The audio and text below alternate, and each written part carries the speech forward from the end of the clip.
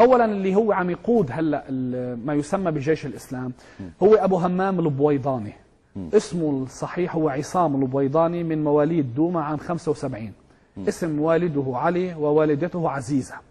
كان يملك شوف كان يملك محل خضار وسوبر ماركت ومحل الحلويات الدمشقية في شارع القوتلي بدوما. كان يسكن مقابل المتجر مباشرة. قبل الأحداث استلم البويضاني كفالة يعني أخذ مصاري من من البنك المركزي آه، 50 مليون ليرة لاستيراد قطع السيارات من كوريا وأصبح أكبر مستورد على كفالة البنك المركزي السوري. آه، هذا هذا اللي هو هلا عمليا يقود آه، جيش الإسلام. في عنا الكعكة كمان اللي هلأ نحن رح نشوف بس كمان شو اسمه الحقيقي بس لحتى نطلع. ال- ال- اسمه الحقيقي هو ال- إيه؟ القائد يسمى رئيس الهيئة الشرعية وقائد في الجناح المتشدد فيما يسمى بجيش الإسلام المدعو سمير الكعكي الملقب بأبو عبد الرحمن والقائد العسكري كمان هذا معه أبو صبحي هارون اللذان يقفان بشكل امام أي تسوية. هلأ هناك خلافات داخل جيش الإسلام. أنا بدي أحكي إن شاء الله يكونوا آه، أهالي دوما عم يسمعونا. نعم. وشوفوا شو بدي اكشف. إنه هلأ نحن وقت اللي عم نحكي عن جيش الإسلام اللي هن عم اولا آه، ال- مجوعين الناس عم يطعموهم خبز الشعير وهن شافوا المناطق الثانية اللي طلع منها اللي طلعت منها المجموعات المسلحة ودخل الجيش المستودعات الأغذية. صحيح. مليئة كل المسا... كل المساعدات كل المساعدات الإنسانية التي يتم إدخالها إلى دوما بما أنه خلصنا من هذيك المناطق يتم احتكارها من قادة جيش الإسلام البويضاني والكعكي وبعض المجموعات الأخرى ولا يعطى شيء للمدنيين. عم يجوعوا الناس. هلأ هناك دعوات ولقاءات. من أجل أن يكون أن يكون هناك تسليم. وهلأ بدي أحكي عن اخر مبادرة طرحت إنه ما بدنا قتال في دوما. فليخرج المسلحون بكل مسمياتهم. امبارح تم اعتقال عدد من الأهالي. منعت مظاهرة ترفض الإرهاب. يعني بيجي واحد بيقول لك نحن عملنا مظاهرة نرفض الإرهاب واحد عم يرد علينا. طيب الإرهاب مين موجود بدوما؟ الجيش السوري ولا جيش الإسلام؟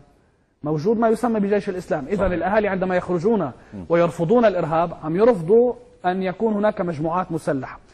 الأهالي اللي لهم سبع سنين بدون طعام بدون أكل حصار أموالهم وين عم تروح؟ شوف بالأرقام. المطاعم التي يمتلكها محمد علوش تحديدا. ويمول جيش الإسلام. بس هلا عم بحكي مطاعم. عنده مطعم إيوان في إسطنبول عند محطة يوسف باشا. هذا تابع لمحمد علوش.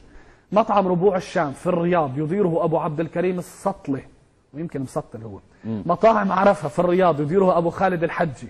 مطعم الناضج أربعة فروع في الرياض. وقد اشتراها مؤخرا محمد علوش.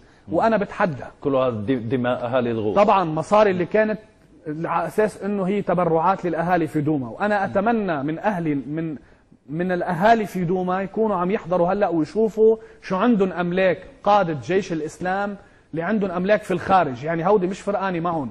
إذا على بكرة طلعوا بالباص وراحوا المطاعم. وراحوا يعني. على تركيا ومن تركيا راحوا على. السعودية وضلوا بإسطنبول. هيدي المطاعم وأتحدى. يطلع محمد علوش أو غير محمد علوش الناطق باسم جيش الإسلام ينفي انه هن هيدي المطاعم لهم هلا نحن حكينا عن المطاعم. شوفني تجارة الآثار الإتجار وبيع الآثار وإقامة مزادات سرية في تركيا عن الآثار التي يتم التنقيب عنها في الغوطة الشرقية والتي يشرف على إدارتها في الداخل أبو إبراهيم كعكة اللي حكينا عنه أبو راتب المحشي. بس هذا ما بنعرف آه، شو محشي. يعني المناطق الأثرية رح في وحتى علوان وائل علوان قبل ثلاثة أيام شو قال له لمحمد علوش؟ قال له شو الظاهر بعد عندك شوية آثار بدك تهربهم. لذلك عم تماطل بموضوع ال- المصالحات وما شابه ذلك.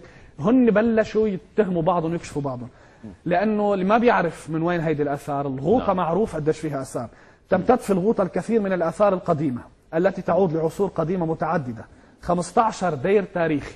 ما عم بحكي عن جوبر انتبه. يعني من ضمنها دوما عندك وعربين إيه؟ عندك ومجموعة من التلال والمواقع الأثرية, الأثرية في التل الصالحية يقع على بعد 13 كيلومتر من من دوما. فيه آثار من العصر الحجري القديم وتل أسود يقع إلى الشرق يحتوي على آثار تعود للعصر الحجري. كل هذه الآثار تم تهريبها من دوما باتجاه ال- ال- الصحراء ومنها باتجاه جزء كبير باتجاه س- تركيا وباتجاه المناطق. هيدي الآثار تجارتها فقط طلعوا ملايين الدولارات. راح أعطيك بعد شو عندهم جيش الإسلام وتحديدا محمد علوش. عنده مغسل وورشة لإصلاح السيارات في منطقة اسنيور بإسطنبول. هودي اللي عم ينعموا فيهم أولاد محمد علوش بينما الأهالي في دوما رغيف خبز ما عندهم. رغيف خبز. من يومين كان عمل لهم عزيمة قعدوا البويضاني وغيره. عملوا عم بحكيك معلومات بعرف شو تغدوا. تغدوا من ثلاث أيام بازيلا ورز وبعد منها كاسة شاي أكرك عجمي. وما في رغيف خبز عند الناس وما بيوزعوا لهم لا رز ولا شيء. امبارح الكعكي بيقول لهم لمجموعة معه جاي على بالي الفول. بيروحوا بالعاميه بيقول روح روح حوشوا لي شوية فول. بده يعمل فول م- مقلى فبيروحوا بيحوشوا له فول بيقلوهم مع الحواضر. بينما الناس بتاكل خبز شعير وبيعطوهم إذا اعطوهم قليل من الرز وهيدا ما ما عم يحصلوا عليه. صح. وقت اللي شفنا الناس خيالية أيضا. وقت اللي شفنا الناس بسقبة أحدهم بيقول لي نحن هلأ فتنا على مستودع كله حلاوة وشيء. بيقول لي نحن قلنا ثلاث أشهر ما شفنا الحلاوة يعني مخزنينا بس ما لحقوا يسرقوه يسرقوهم شوف شو بعد في عنده.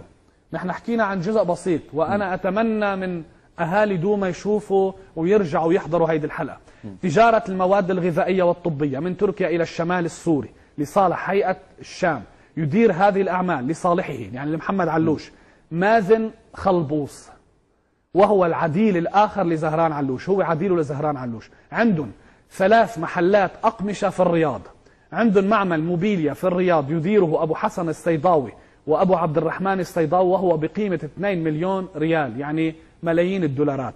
عندهم محل أقمشة ومطاعم في الرياض يديره بلال عيون. عم بحكيك أسماء. واللي مش مصدقني يروح على بكرة على على محلات أقمشة ومطاعم في الرياض ويسأل مين مديرة وبيشوف مديرة اللي هو بلال عيون. هودي وخليهم يتصلوا بأهاليهم بدوما يقولوا لهم كلام كلامنا نحن صحيح 100% هيدي وصلنا لعنا مح... لعند معمل المفروش شوف شو عم حتى. بالسودان في استثمارات؟ تحولت مؤخرا. تجارة جيش الإسلام إلى السودان حيث قاموا بشراء أراضي زراعية وتصدير المنتجات إلى دول عربية بمساحات واسعة بناء وبناء مصنع لتصنيع الأدوات الكهربائية والمنزلية.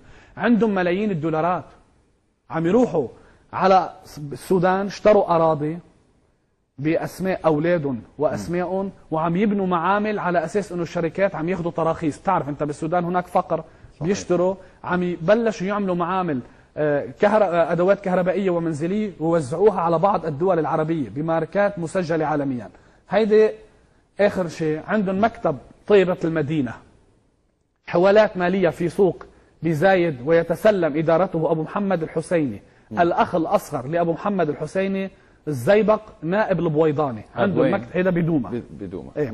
تكليف أبو ياسر خلبوص بشراء عقارات في إسطنبول من قبل محمد علوش. صار عنده محمد علوش صار رجل طبعاً. عم- بعدين ما عاد يلحق صار يبعت حدا روح اشتروا لي.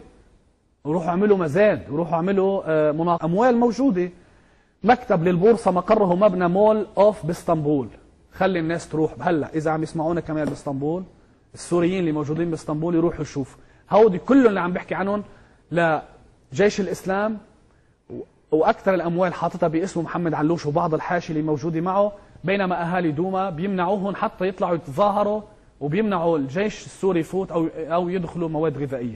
هناك شركة صرافة وتحويل أموال في دوما اسمها الشركة المتحدة موجودة في شارع القوتلي هي تابعة لجيش الإسلام وهي بإدارة نعيم الخنشور وهو مدير المكتب الاقتصادي لجيش الإسلام وهو قبل الحرب المفروضة على سوريا كان صاحب محل رومانات يعني رومان تبع آه. سيارات. إيه ما هن كلهم جاي من الخردة وهيدي الشغلات.